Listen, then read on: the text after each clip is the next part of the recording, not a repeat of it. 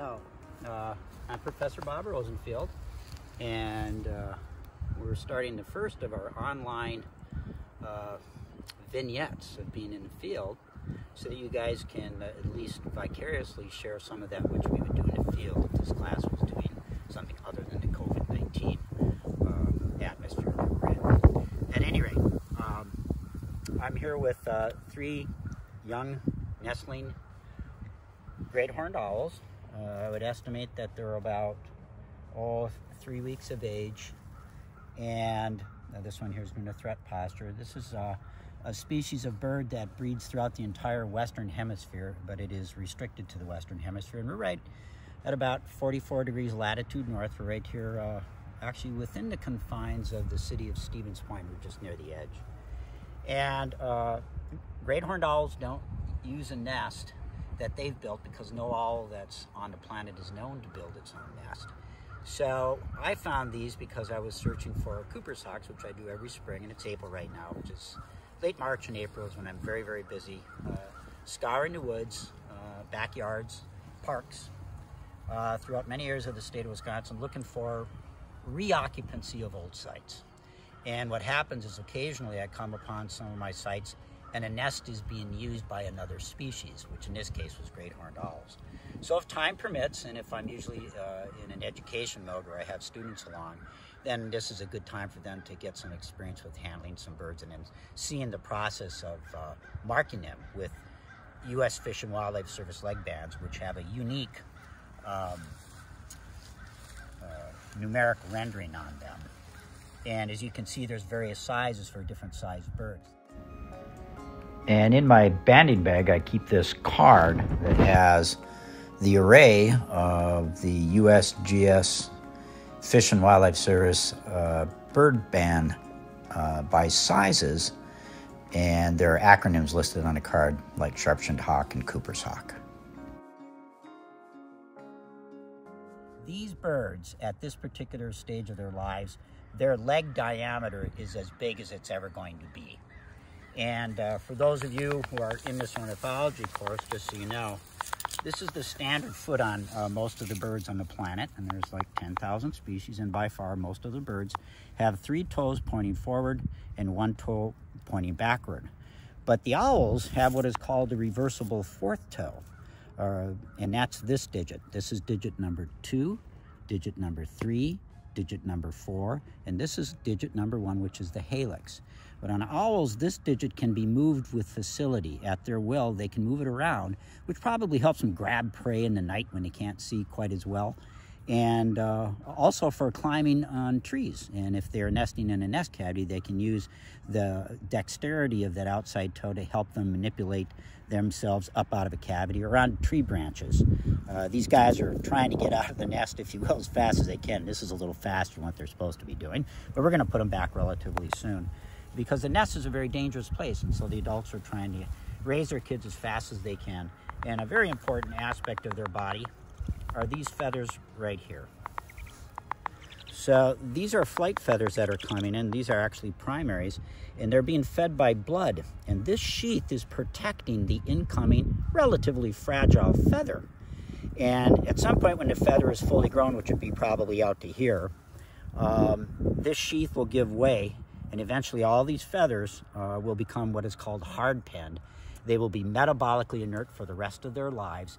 And every summer they're going to have to molt them out because they'll be degraded by solar energy, by physical trauma. Um, owls have very soft, velvety feathers. And this uh, order, which you guys will learn, is the Strigiformes, which is a worldwide order. There's about 220 species of owls. Uh, there's another closely related order that you're going to learn about, which are called the Caprimulgiformes. That contains nighthawks and uh, the whippoorwill, and they have velvety plumage like this, very soft to the touch. And it's the physical construct of the feather that makes it so soft. And what it tends to do is it's there's a, a there's a porosity because the feathers have this velvety touch to them and air can move through such that it tends to muffle the sound of the bird at night so they don't alert their prey when they're approaching it. It also, because it's so quiet at night, they aren't, uh, if you will, uh, disturbed by outside noise also. Because they're relying so much on their ears. Owls have a facial disc, which is uh, right behind this eye.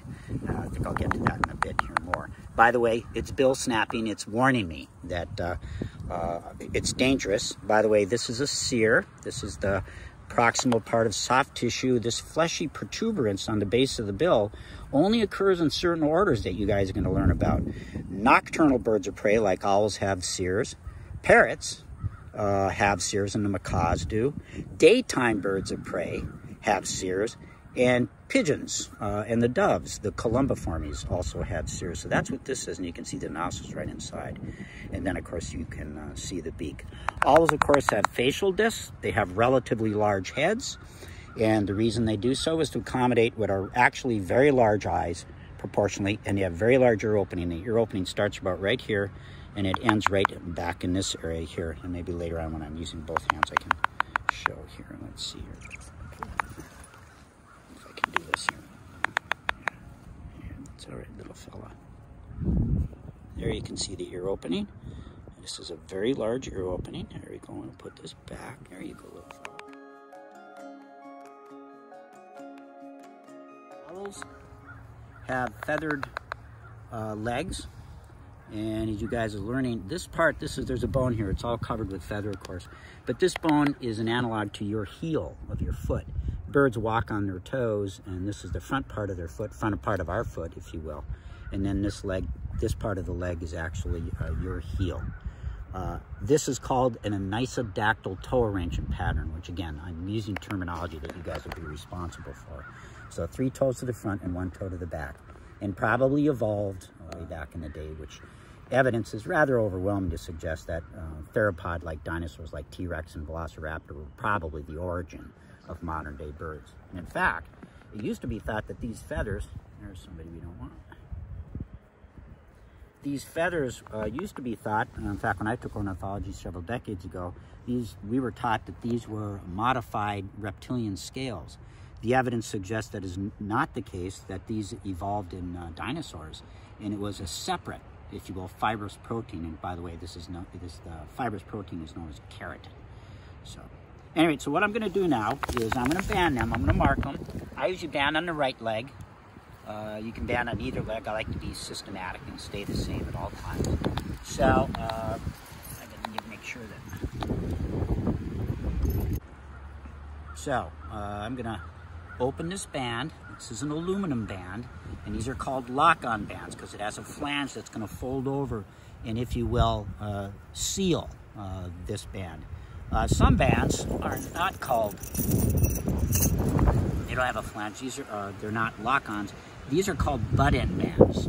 And I just open this band and I close it flush on itself, and a bird can't open that. But owls, big birds, ospreys, eagles, uh, they have a powerful enough beak that they might be able to take this apart if it was just a butt-end band. So that's why there's a flange and a lock-on, if you will, construct to this particular marker. So I'm going to open it up, you don't open it up very far because if you open up too far, you're going to weaken one side of it. You just need to open it up far enough to get it onto the leg. Remember, the leg is attained its diameter that will have the rest of its life. So this band will put on, at this particular age, will turn very freely on this bird's leg. So then we're going to tighten it, and then we're going to turn it around so we don't have any feathers locked into the flange here. And then I'm going to start to manipulate. These are buggers.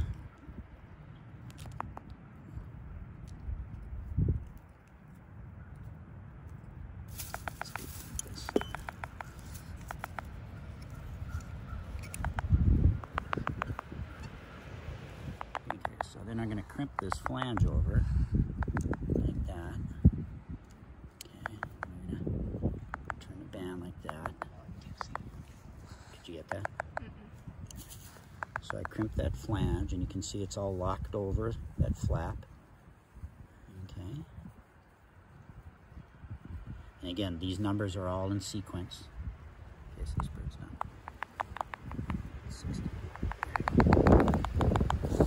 Help them grip their prey. It gives them a little bit more of a texture to the bottom of the foot, which gives them reliable contact of their prey. And briefly, a few more words about uh, the talons. Uh, they're long and sharp. Obviously, they're used for killing prey, but they're also used for carrying prey. They're used for defense of themselves, and they can be used for climbing, especially if they grew up in a nest cavity and they need to extricate, so to speak, themselves from that cavity.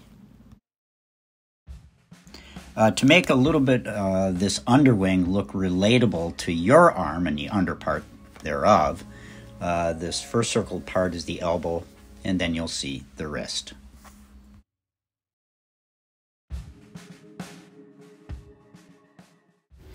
So these feathers that are more distally uh, placed uh, farther out on the wing are known as the primaries. And all birds of prey of the world, both the owls in the daytime, have 10 of them. And here you can see them growing, and they're going to provide thrust on a downstroke of a wing flap. So very important for horizontal movement uh, towards the Earth's surface. And these feathers that are more proximate, which means uh, closer to or in proximity to the main body, uh, these are known as the secondaries, and their principal role is to provide lift on a downstroke of this wing or the airfoil. And here again, I believe I mentioned this earlier, but here is a sheath, this blue part, uh, that uh, encapsulates and protects the uh, uh growing feather and if you look closely, you can actually see a little bit of the uh, red tint of the blood that would be carrying the protein. And again, that's known as keratin, that eventually is going to uh, make up the hard structure of the feather itself.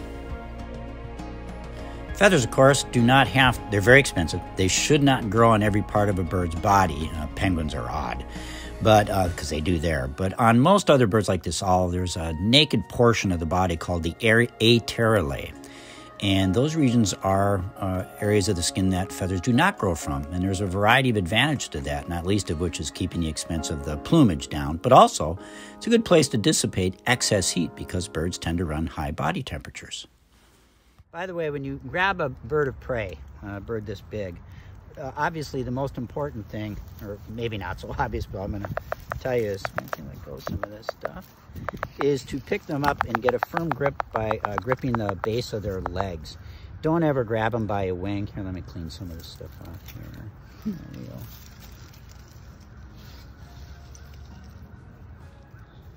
Don't pick them up by their wings. Don't ever pick them up by their head. Always get a nice, firm, reliable grip around the base of their legs. Their legs are very strong, relatively speaking, at this stage of their lives. And imagine that, that you're up in a nest. In fact, that nest that uh, these birds are in is 70 feet above the ground. It's very windy today. And when wind blows and that tree is shaking and you're little, you've got to be able to hold on to the nest. So you can imagine how these legs probably are rather adaptive in terms of having strength at this particular stage, and these talons probably help too. So this is an excellent way to uh, hold this bird of prey is by their legs and support them from underneath like this. Uh, that way you have a reliable grip, uh, they're safe, uh, they usually can't hurt themselves, and uh, they can't hurt you, and you are less likely to injure them, uh, if you will, by having unreliable contact.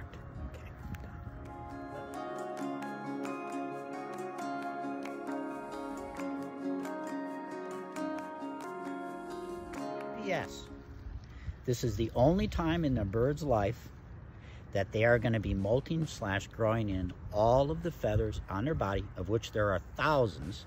Uh, I'm going to guess four to 5,000 on a great horned owl. Uh, and it's the only time they will grow all their feathers all at once. Good time for them to be grown all at once to give them insulation, etc. But they don't have to go out and get food. Mom and dad are feeding them. They're providing them warmth. From here on out, they will not be able to drop all their feathers and grow them all at once. So this is the only time. And get them grown as fast as they can.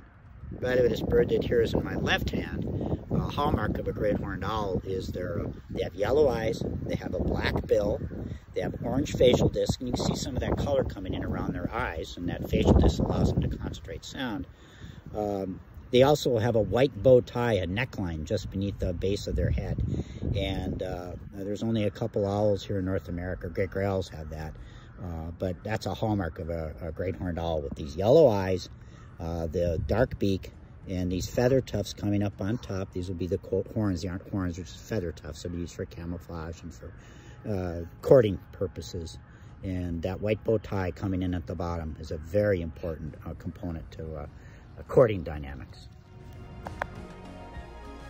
Uh, here's a great look in slow motion of the third eyelid, also known as the nictitating membrane, and it is to moisten and protect the eye.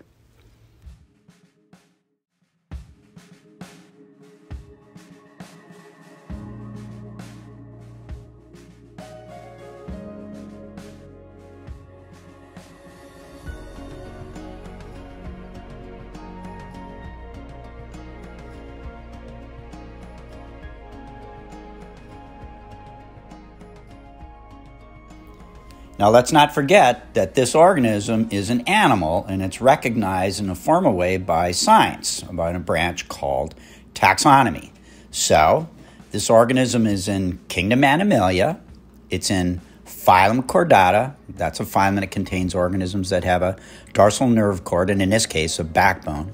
It's in class Aves, that's the bird class. It is in the order Strigiformes, and within that order of owls, which is a worldwide distributed group, it is also in the family uh, Strigidae. And then comes the genus species. And in this case, it's Bubo virginianus. And then the common name is great horned owl. Again, these are all offshoots of that formal branch of taxonomy.